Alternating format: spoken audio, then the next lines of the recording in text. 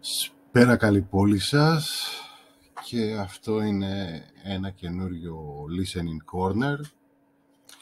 Εμ, για τους Hammerfall δεν ήξερα ποια μπάντα να έκανα μετά τους Maiden. Ε, ήμουν διχασμένος ανάμεσα σε Bon Jovi που ήταν ε, η λάκτα μου πρώτη μας αγάπη και παντοτινή ε, ή στην, στο, στους Cradle, Cradle of Filth, που είναι, τι να πω, ο έρωτας των ερώτων, ε, η ωραία Ελένη μου, ας πούμε. Ε, αλλά αποφάσισα να κάνω τους ε, Hammerfall, γιατί συγκυριακά πέφτουν κοντά στο κόλλημα με τους Maiden. Ε, ήταν μια μπάντα που τη λάτρευα για α, τρία χρόνια, τέσσερα, αλλά μέχρι σήμερα ε, την ακολουθώ, δεν την ακολουθώ, ε, μ, αρέσει, μ' αρέσει ακόμα σαν μπάντα, αλλά πιο πολύ η νοσταλγία που φέρει το άκουσμα των άλμπουμ που είχα λιώσει και έχω πάντα έτσι ε, τις κεραίες μου ανεβασμένες για να δω τι καινούριο κάνουν. Ε, πριν μπούμε στο worst to best, αν και δεν μου αρέσει να το λέω έτσι ε, είναι μια δομή που έχει ένα ενδιαφέρον γιατί σε βάζει λίγο να θυμηθείς πράγματα και να σκεφτείς πριν κάνεις το βίντεο. Κάτι που δεν έχω στα literary creep και ε, ναι, εδώ πέρα είναι πιο δομημένη κάπως η παρουσίαση που έχω κατά νου. Πριν ξεκινήσουμε, να πω ότι τα Revolution, Build to Last, Dominion και Hammer of Dawn ε, δεν τα έχω στη συλλογή μου και δεν ε, νομίζω να τα βάλω στη συλλογή μου. Ε, από ποια άποψη; από όταν, ε, μετά το Infected, ένιωσα λίγο να φεύγει και το ενδιαφέρον μου και γενικά είναι μια μπάντα που έχει μια έτσι πολύ, όχι προβλεψιμότητα, μια επανάληψη, ένα πολύ σταθερό ήχο, που από τα 20 και μετά άρχισα να ψάχνω πιο πολλά πράγματα για να ακολουθήσω κάτι, πιο πολλούς πειραματισμούς. Ε, ας πούμε ένα από τα πράγματα που συχαίνομαι, συχαίνομαι με κουράζει πάρα πολύ στη metal, ε, είναι η δομή κουπλέ ρεφρέν, κουπλέ ρεφρέν, γέφυρα σόλο, ρεφρέν, τέλος. Να μου πεις αυτό είναι το 98% των κομματιών. Ναι, ok, okay, true. Αλλά ε, όταν μια μπάντα είναι μόνο αυτό, δεν, ε, δεν μπορεί να με κρατήσει. Επίσης, ένα άλλο πράγμα που με κρατάει πάντα στα lyrics είναι, στα, στις μπάντες είναι τα lyrics. Δηλαδή, άμα ερωτευτώ μια μπάντα από το ήχο της ή από το στυλ της, αυτό που ουσιαστικά θα με κρατήσει μέσα στο χρόνο είναι τα lyrics. Οι Hammerfall από ένα σημείο και μετά δεν είχαν να μου προσφέρουν κάτι αρκετά βαθύ ας πούμε. Ε, και εδώ παρένθεση μέσα στη παρένθεση. Ε, αυτό είναι το θέμα που έχω ας πούμε σας έχω πει ότι κυρίως ακούω metal και rap. Ποιο είναι το θέμα, ότι η metal μου δίνει τον ήχο της μουσικής που μου αρέσει πάρα πολύ, γιατί εντάξει ένα beat τι να σου δώσει. Και οι θεματικές είναι πιο επικές και το storytelling είναι πολύ φαντασμαγορικό, δεν συγκρίνεται το ένα είδος με το άλλο. Αλλά στη rap αυτό που μου αρέσει είναι το πόσο μπορεί να δουλέψει κάποιος το λόγο του, πώς μπορεί κάποιος να κάνει λογοπαίγνια.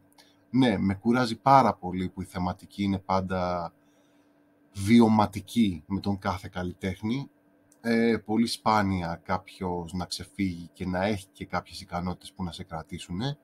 Ε, οπότε βρίσκομαι πάντα σε αυτό το διχασμό, γι' αυτό μάλλον και η Filth να είναι ίσως η top αγαπημένη μου μπάντα, γιατί και σε θεματικές έχει πράγματα που μου αρέσουν ε, και στιχουργικά έχει ε, λογοπαίγνια, λεξιπλασία, διάφοροι οντάνοι, ε, πολύ δουλεμένα layers, και εντάξει, ηχητικά και μουσικά δεν το συζητάμε, είναι το 100% αυτό που μου αρέσει, ας πούμε.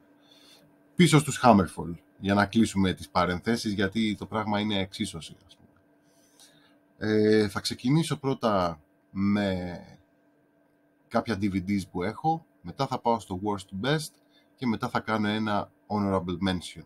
Και αυτό θα είναι μάλλον καινούργια κατηγορία. Ε, θα σας πω όταν φτάσω εκεί τι είναι το honorable mention. Λοιπόν, Οπα. Ε, DVD με έτσι διάφορα backstage footages και διάφορα live αποσπάσματα. Ε, το, το artwork έχει έτσι μια καλτιά. Ναι, ε, δεν, ακόμα και όταν ήμουν απορωμένος φαν δεν ε, με είχε τρελάνει ιδιαίτερα αυτό εδώ. Σε αντίθεση με αυτό εδώ, όπου είναι live DVD, είχε πάρα πολύ ενδιαφέρον, αλλά αυτό ήταν και ο παράγοντας που ποτέ για μένα οι Hammerfall δεν ε, έφτασαν ε, στο μυαλό μου σε επίπεδα Maiden. Μισό να φτιάξω λιγάκι την κάμερα. Έχει μια τάση να στρίβει σήμερα, δεν πειράζει. Αφήστε την να στρίψει. Τι εννοώ; Α, έρθω κι εγώ εδώ.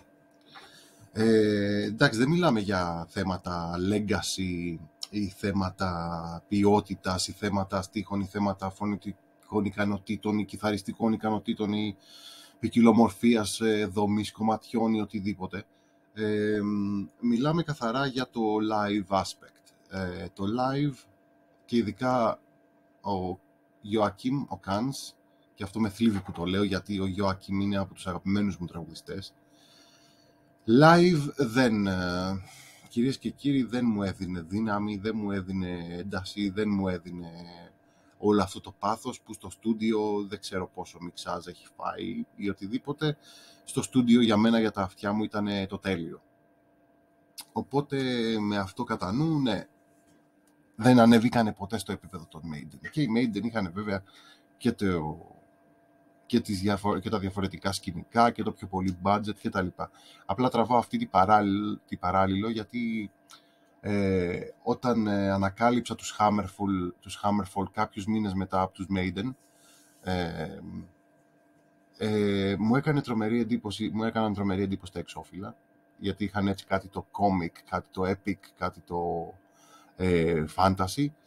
Μ' άρεσε που και εδώ σε κάθε εξώφυλλο είναι η ίδια μορφή, ο Hector.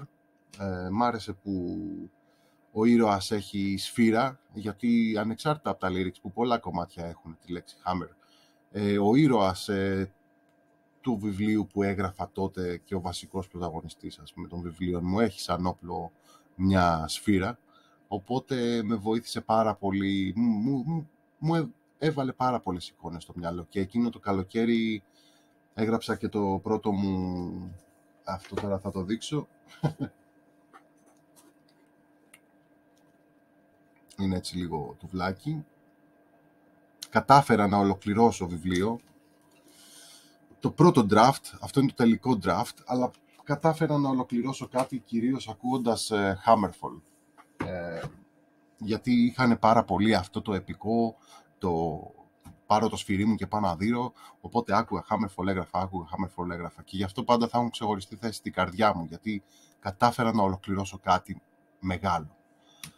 Ε, anyway, τέτοιες πελαγοδρομίες να τις περιμένετε. Το έχουμε πει ότι είναι ημερολογιακού τύπου αυτά τα βίντεο. Λοιπόν, Rebels with a Cause. Αυτό, το DVD, το λάτρεψα παιδιά. Γιατί όπως σας έχω πει, εγώ άργησα να βάλω το ίντερνετ στη ζωή μου ε, οπότε αυτό ήταν όσο πιο κοντινό σε αυτό που μας έδωσε αργότερα το Hammerfall TV. Πάρα πολλά backstage, πάρα πολλές συνεντεύξεις, τα μέλη της μπάντας απλά να κάθονται και να θυμούνται πράγματα. Κάτι που έχει λείψει πιστεύω στην YouTube εποχή που βιώνουμε. Τότε όταν έβγαινε ένα τέτοιο DVD με backstage, ε, οι fans ε, αρρωσταίναμε έτσι, δηλαδή τους βλέπαμε όπως δεν τους έχουμε δει ποτέ. Είναι αλλιώς να βλέπεις έτσι μια σκληρή περσόνα ή στα βίντεο κλιπς και στις φωτογραφίσεις, να βλέπεις μια, ένα κουρασμένο άνθρωπο στις περισσότερες συνεντεύξεις, να βλέπεις αυτή την πτυχή, ας πούμε, και είναι αλλιώς να βλέπεις ε, ορεξάτους πέντε τύπους που κάνουν το όνειρό τους ε, δουλειά και είναι η ζωή τους, η μουσική τους, να είναι ορεξάτοι και να θυμούνται πράγματα για την μπάντα. Ήταν πάρα πολύ ωραία αυτά τα DVDs και αυτό το συγκεκριμένο το είχα λιώσει. Πάμε τώρα στο worst to best. Renegade. Λοιπόν, το Renegade, ενώ έχει μέσα κομματάρες, όπως Templars of Steel, Keep the Flame Burning, Living in Victory, The Way of the Warrior, The Champion, ε, έχει άλλα τόσα κομμάτια που δεν μου άρεσαν ποτέ. Δηλαδή και από τις πρώτες μέρες που ήμουν απορωμένος, αυτό το άλμπουμ το άκουγα λιγότερο συχνά και τα βίντεο clips που είχα καταφέρει να τα δω στο πολιτιστικό κέντρο που είχα συνδεθεί για να μπαίνω ίντερνετ ε, ή σε διάφορα ίντερνετ καφέ, το βίντεο clip του Renegade και το βίντεο clip του Always Will Be ε, ήταν απλά cheesy as hell, έτσι. Επόμενο. Threshold. Λοιπόν, ενώ αυτό το άλμπουμ, από αυτό το άλμπουμ με το κομμάτι Natural High τους έμαθα, ε, τους είχα πετύχει στον Haku, στο TV War, πιστεύω όπως οι περισσότεροι μεταλλάδες της ηλικίας μου. Ε, δεν ήταν το πρώτο άλμπουμ που πήρα, ε, θα πω ποιο ήταν το πρώτο άλμπουμ που πήρα. Ε, το, το περίμενα με πάρα πολύ ενθουσιασμό να τα ακούσω, ενώ έχει πάρα πολλά κομμάτια που μου αρέσουν και τα είχα κάψει. Ε, ας πούμε, Natural High, Dark Wings, Howling with a Pack, Shadow Empire, Genocide και Titan. Τα άλλα, ε, ενώ πορωνόμουν όντας αρρωστημένος φαν τότε, η αλήθεια είναι ότι βαθιά μέσα μου ποτέ δεν με τρελαίνανε τόσο πολύ τα υπόλοιπα του άλμπουμ. Γι' αυτό είναι και τόσο χαμηλά στη λίστα από αυτά που ακολουθούσα τέλος πάντων. Ε, γιατί και εδώ είναι λίγο η αντιστοιχία σχεδόν 50-50. Μετά. Legacy of Kings. Εντάξει, τα εξώφυλλα είναι τόσο καλτιάρες. Είναι τόσο... Εδώ έχει κομματάρες όπως Hiding the Call, Legacy of Kings, Let the Hammer Fall, Dreamland, The End of the Rainbow, Stronger Than All, Warriors of Faith. Ε, έχει δύο-τρία που δεν με τρελαίνουν. Εντάξει, ο ήχος είναι πολύ τέλη 90s, κάνει λίγο μπαμ, αλλά δεν έχει γεράσει και άσχημα, δηλαδή για μένα δεν με χαλάει. Ε, είναι πολύ τσιτά, πολύ δυνατό ε, και, το, και σου δημιουργεί έτσι εικόνες που, όπως είπα και πριν, εξάπτουν πάρα πολύ τη φαντασία. Το πρώτο άλμπουμ που πήρα γιατί τότε πηγαίναμε σε δισκάδικα κυρίες και κύριοι και ψάχναμε. Και αυτό που έψαχνα δεν το είχε, οπότε ήμουν σε φάση πρέπει να ακούσω οπωσδήποτε κάτι από αυτή την μπάντα. Ήμουν άρρωστος να πάρω κάτι για να βάλω στο CD μου να ακούσω όταν έρθω σπίτι. Συγκυριακά ήταν και το πρώτο τους. Glory to the Brave. Για κάποιο λόγο μέσα στα χρόνια έχω δει ότι ενώ η μεταλλική κοινότητα είναι διχασμένη ως προς τους Hammerfall, κάποιοι τους αγαπάνε, κάποιοι τους μισούνε, το πρώτο τους το παραδέχονται όλοι. Και ήταν τρομερό ντεμπούτο, η αλήθεια να λέγεται, όχι μόνο και το ότι υπογράφτηκαν στην Nuclear Blast με τη μία, αλλά για πρώτο άλμπουμ ε, είναι όλα τα κομμάτια τρομερά και αν κάποια δεν μ' αρέσουν είναι το Child of the Damned και το Glory to the Brave.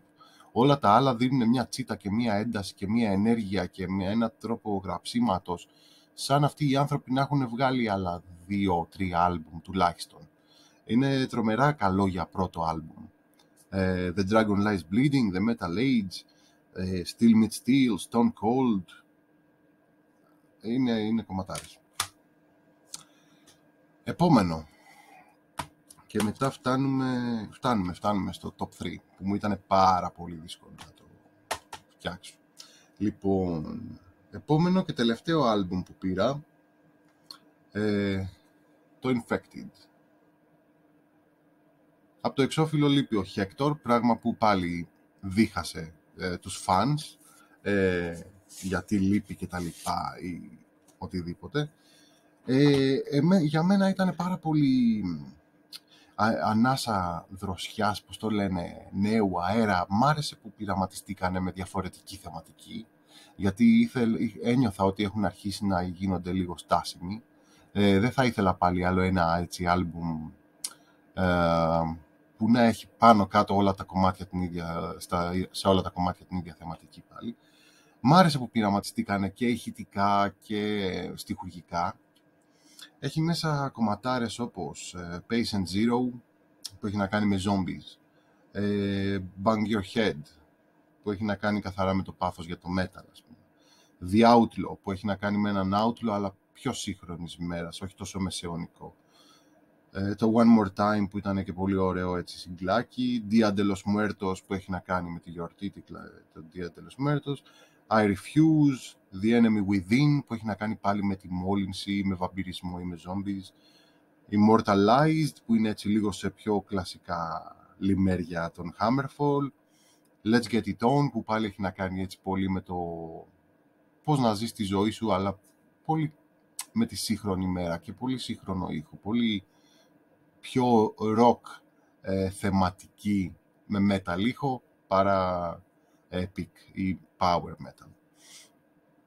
Πάρα πολύ ωραίο. Οπότε γι' αυτό όταν μετά βγήκε το Revolution, ενώ είχε ένα-δύο κομματάκια που μου άρεσαν πάρα πολύ, είδα ε, μια επιστροφή στις ρίζες και ήμουνα σε φάση πλέον ότι ναι, ε, δεν μπορώ να ασχοληθώ πια. και τώρα το top 3. Το top 3 ήταν πάρα πολύ δύσκολο να το διαλέξω.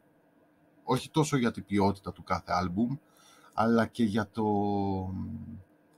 συναισθηματικό κομμάτι, για την νοσταλγία, για το όλο δέσιμο που έχω με αυτά τα τρία αλμπουμάκια. Ε, οπότε, top 3. Είναι και 3D, δεν ξέρω αν φαίνεται. No Sacrifice, No Victory. Αυτό το αλμπουμάκι βγήκε το 9. Ήταν η χρονιά που ξανά δίνα Πανελλήνιες και ήταν γενικά πολύ σκοτεινή έτσι, χρονιά στη ζωή μου. Οπότε το γεγονός ότι έβγαζαν οι Hammerfall κάτι καινούριο, γενικά εκείνες, εκείνη την εποχή οι μπάντες που βγάζαν κάτι καινούριο και ήμουνα φαν, απλά τρελαινόμουνα, που έχω να ανυπομονώ για το CD, ε, όπως είχα πει και στο βίντεο των Maiden για το Matter of Life and Death. Είναι πάρα πολύ ωραία εμπειρία αυτή, να περιμένεις και να έχεις τον ενθουσιασμό, ε, που δυστυχώς μεγαλώνοντας ή λόγω της εποχής δεν το βιώνω πλέον τόσο έντονα. Ε, ναι, έχει μέσα κομματάρες όπως Any Means Necessary, Punish and Enslave, Legion, Hallowed Be My Name, uh, No Sacrifice, No Victory, Bring the Hammer Down, One of a Kind. Έχει ένα τρομερό cover το My Sarona. Ε, είχε ένα πάρα πολύ τέλειο βίντεο κλιπ. Τώρα βέβαια είναι η ποιότητά του στο YouTube πάρα πολύ χαμηλή. Δεν πολύ βλέπετε, αλλά όταν το είχα δει τότε ήμουν σε φάση ok, wow. Ε, το εξώφυλλο τον φέρνει έτσι σε πιο μοντέρνο τοπίο, ίσως και λίγο post-apocalypse, τον Hector, και μου άρεσε και αυτό πάρα πολύ. Και σαν ήχος ήταν πολύ πιο φρέσκο, δηλαδή ε, αν από αυτό είχε προηγηθεί το, ε, το Threshold, ε, που σας είχα πει ήταν λιγάκι μιέχ. Ε, μετά βγήκε μια επαιτειακή συλλογή ε, που είχαν βγάλει για κομμάτι για να το προμοτάρουν το Last Man Standing που δεν μου άρεσε ποτέ σαν κομμάτι, ακόμα δεν μου αρέσει. Και ήμουν σε φάση, όχι, έχουν αλλάξει τόσο πολύ τον ήχο του, θα ξενερώσουμε με το επόμενο, τι γίνεται, ξέρω εγώ. Οπότε βγαίνει μετά το Any Means Necessary και ξανανιώθω όλη αυτή τη τρέλα και την πόρωση που είχα για τους Hammerfall τόσα χρόνια. Δυστυχώς κράτησε μέχρι και το Infected όλο αυτό. το επόμενο άλμπουμ τους δηλαδή. Και τώρα οι δύο top θέσεις. Λοιπόν, νούμερο 2. Crimson Thunder. Αυτό το άλμπουμ το πήρα μετά από το Glory to the Brave, ήταν το δεύτερο άλμπουμ που πήρα. Έπαθα πλάκα και με την εικονογράφηση που ήταν τόσο διαφορετική, δηλαδή ε, ήταν πάρα πολύ καλή επιλογή να πάρουν τον τυπά από την Blizzard, τον ε, DDR. Κοιτάξτε εδώ. Όχι το, το άλλο είναι κακό, απλά είναι μιας άλλης εποχής, ας πούμε, πιο 90 αυτό είναι πιο modern, πιο δυναμικό. Πολύ πιο κοντά μάλλον στην αισθητική που μου είχαν διαμορφώσει τα digital comics και ο Conan ε, της Anubis που ε, μετάφραζε από την Dark Horse. Ε, αυτό το άλμπουμ κατά κύριο λόγο με βοήθησε να γράψω και να ολοκληρώσω το τούβλο που σας έδειξα. Μου έδινε πάρα πολύ την ενέργεια και το mood που ήθελα. Ε, όλα τα κομμάτια εκτός από το Dreams Come True ίσως. Ε, όχι, αυτό καλό είναι μωρέ. Όλα τα κομμάτια είναι πένα. Ε, έχει ένα πάρα πολύ συγκεκριμένο power ήχο, δηλαδή οι powerάδες πιστεύω το εκτιμούν αυτό το album, δεν ξέρω. Φέτος έκλεισε και 20 χρόνια από όταν βγήκε. Παναγία μου γερνάμε παιδιά. Εγώ όταν το είχα πάρει αυτό το άλμπουμ έβλεπα τη χρονολογία εδώ πέρα πίσω και έλεγα «Ω, πριν τρία χρόνια, φρέσκο, φρέσκο». Ναι, αλμπουμάρα, αλμπουμάρα, πραγματικά. Μέχρι σήμερα δηλαδή μου έρχονται φλασιές και κάθομαι και το ξανακούω όλο το άλμπουμ, ας πούμε.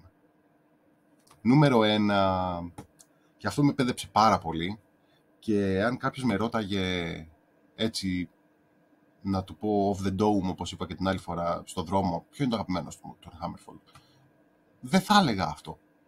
Αλλά όταν τώρα τα βάλα κάτω έτσι και σκέφτηκα λιγάκι, τελικά καταλήγω ότι αυτό είναι το αγαπημένο μου. Unbent, unbound, unbroken.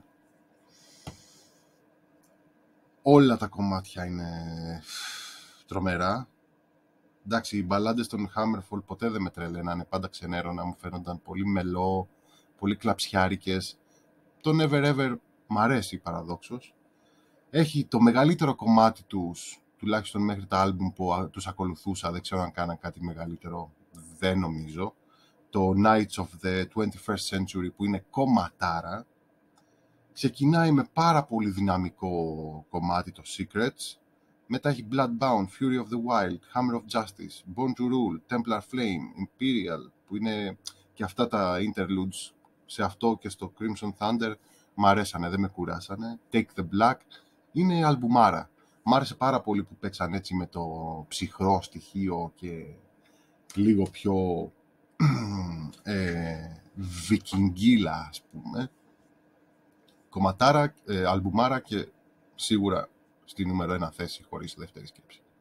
Και αυτό που σκεφτόμουν στους Maiden, αν θα το έκανα ή όχι, που σε κάποια βίντεο τελικά από εδώ και πέρα θα τα κάνω, ε, είναι τα honorable mentions. Δηλαδή, τι εννοώ, αν κάποιο μέλος του συγκροτήματος έχει βγάλει κάποια άλμπουμ solo και είναι αξιόλογα ή τα έχω ακούσει ή τα έχω στη συλλογή μου, θέλω να λέω και για αυτά δύο λόγια.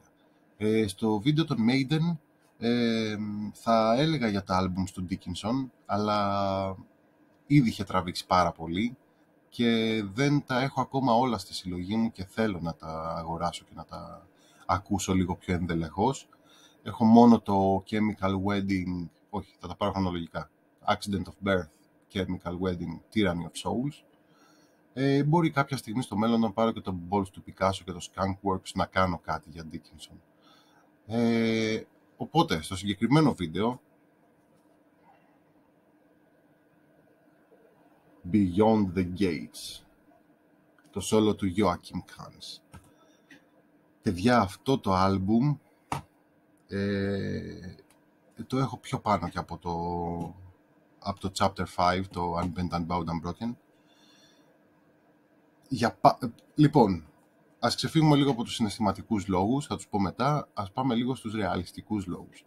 Ε, αν κάποιος ακούσει το Crimson Thunder και μετά ακούσει το Unbent, Unbound, Unbroken, λέει τι μετάβαση είναι αυτή, τι, τι, τι αλλαγή ήχου είναι αυτός, τι, τι, τι εξέλιξη ρε παιδί μου, πώς έγινε όλο αυτό; Ε, παιδιά, το κομμάτι που λείπει στο puzzle για να λύσετε αυτό το γρίφο είναι το Beyond the Gates. Αν ο Kans δεν είχε βγάλει αυτή την αλμπουμάρα, δεν θα είχαμε το Unbent, Unbound, Unbroken. Το επόμενο άλμπουμ από το Crimson Thunder, είμαι σίγουρος, θα ήταν άλλο ένα Crimson Thunder Point 2. Σε αυτό το άλμπουμ πειραματίστηκε πάρα πολύ και με θεματικές και με πάρα πολλούς άλλους μουσικούς ε, και με ε, μελωδίες και με patterns που δεν είχε κάνει στο παρελθόν. Ε, καλός ή κακός, όσο και, και αν τον αγαπάω τον ε, Ντρόνιακ, τον Όσκαρ Ντρόνιακ, ε, γιατί ο Ντρόνιακ και ο Κάνς είναι οι βασικοί συνθέτες, έτσι. όσο τον αγαπάω τον Όσκαρ, ε, έχει πει ο άνθρωπος ότι αυτόν τον νοιάζει απλά να γράφει catchy riffs και catchy ε, metal κομμάτια, οπότε η δομή του θα εξακολουθούσε να είναι η ίδια και δεν έχει τίποτα κακό η δομή του, έτσι. Ε, αλλά πιστεύω ότι ο Κάνς και αυτό το άλμπουμ ε, συνοψίσανε πάρα πολύ στο να... Συνοψίσανε. Συνέβαλαν πάρα πολύ στο να εξελιχθεί τόσο πολύ ο, ο ήχος τους από άλμπουμ σε άλμπουμ. Μία φύσα μόλις λιποθύμησε, δεν ξέρω αν ακούστηκε. Παιδιά, όλα εδώ τα κομμάτια είναι τέλεια. Δηλαδή, όσοι δεν το έχετε ακούσει, πραγματικά χάνετε. Ε, και ο λόγος που είναι τόσο σημαντικό για μένα αυτό το άλμπουμ είναι το άλμπουμ που ένα κομμάτι του θα ακούσω μια φορά το μήνα. Θα το επισκεφτώ το άλμπουμ μια φορά το μήνα. Που δεν μπορούμε να το πούμε για πάρα πολλά CD αυτά, αυτό όσο μεγαλώνουμε. Ε, το πήρα σε μια φάση στη ζωή μου τη χρονιά που ξανά δίνα, όπως είπα και πιο πριν, ε, Πανελλήνιες που ήταν πάρα πολύ σκοτεινή χρονιά, γιατί ένιωθα ότι έχω μείνει πίσω, ότι προχωράνε όλοι, τι κάνω με τη ζωή μου, είμαι ένα τίποτα, είμαι αποτυχημένος. Με το γράψιμο στην Ελλάδα δεν θα γίνει ποτέ τίποτα, μου μπλε μου μπλε Και αυτό το άλμπουμ έχει αυτό το dark, έχει, έχει μια νταρκύλα παραπάνω από τους, ε, από τους Hammerfall. Ε, οι θεματικές τώρα έχουν, έχουμε να κάνουμε με το Red Light που ήταν και το βίντεο κλιπ. Ε, έχει να κάνει με ένα μάγο που έρχεται στη σύγχρονη ημέρα για να πάρει εκδίκηση από τα τρισέγγωνα αυτών που τον έκαψαν. Το Soul Collector έχει να κάνει με κάτι που έρχονταν πάρα πολύ κοντά στη μυθολογία μου και απλά όταν είδα και το τίτλο και τη θεματική μπαπ με χτύπησε στη ψυχή ας πούμε. Το Back to Hell έχει να κάνει με το πολεμό με δαιμόνια αλλά δεν σου δίνει αίσθηση Hammerfall. Το Beyond the Gates είναι πάλι επικό, αλλά δεν σου δίνει αίσθηση Hammerfall. Σου δίνει κάτι πιο πλεγμένο Moorcock πιο πολύ. Πιο, πιο πολύ αίσθηση Moorcock. Το Garden of Evil έχει έτσι μια αισθητική πάλι ε, Dansani και Moorcock ας πούμε. Merciless, Silent Cries, Dreams, ε, Signs ε, δίνουν και μία αίσθηση αυτά τα κομμάτια όχι μόνο επικής θεματικής, αλλά και λίγου horror μέσα. Σαν να μιλάμε, πώς να το θέσω, αν είναι καθαρό emo fantasy ή Hammerfall, ε, αυτό το άλμπουμ δίνει μία αίσθηση grimdark. Νομίζω αυτό είναι όσο πιο κοντά μπορώ να το, να το χαρακτηρίσω στο, στη, στη τέλεια παρομοίωση. Έχει έτσι μια, μια αισθητική grimdark. Και η φωνή του Kans ε, αρχίζει να βάζει λίγο γρέζι, αρχίζει να τη βρωμίζει λίγο, που εγώ πάντα αυτό το εκτιμάω, μου βγάζει πιο πολύ πάθος, πιο πολύ ψυχή. Και παιδιά, εντάξει, άμα δεν είχαμε αυτήν εδώ την αλμπουμάρα, δεν θα είχαμε το Unbent, Unbound, Unbroken. Αχ, αυτά. Ε, θα συνεχίσω τα listening corners για τις μπάντες τουλάχιστον που είμαι κολλημένος. Ελπίζω να σας αρέσουν. Ε, γράψτε από κάτω κάποιο feedback, πώς σας φαίνονται αυτά τα βιντεάκια. Και οπότε ζωή, τα καλή λέμε.